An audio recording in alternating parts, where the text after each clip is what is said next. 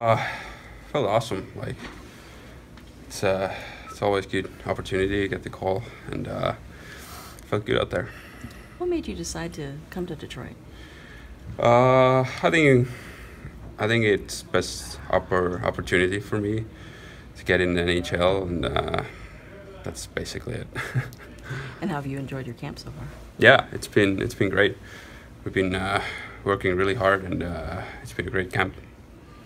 Why, why did you think the Wings were your best fit?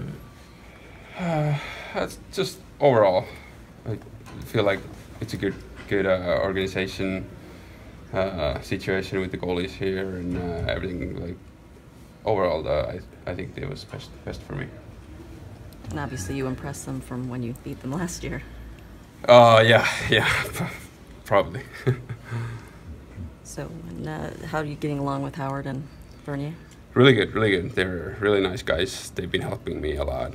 Uh, it's it's it's been great. Like every, almost everybody is new new here for me, and uh, so they've been they've been awesome to me. How helpful is it to you as a goalie when in a preseason game you can face a lineup like the one Pittsburgh threw? Uh, I think it's more about to get your own game going. Like, don't worry about the the other guys who are out there, but obviously it gives me confidence when there's like big guns like Malkin, Kessel, and you you're able to play a good game against those guys. So it uh, gets confidence.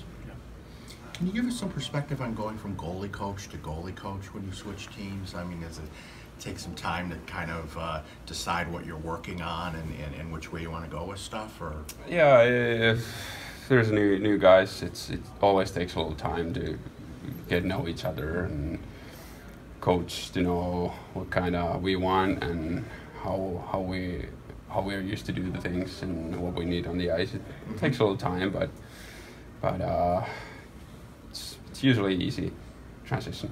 Yeah, thanks. Mm-hmm.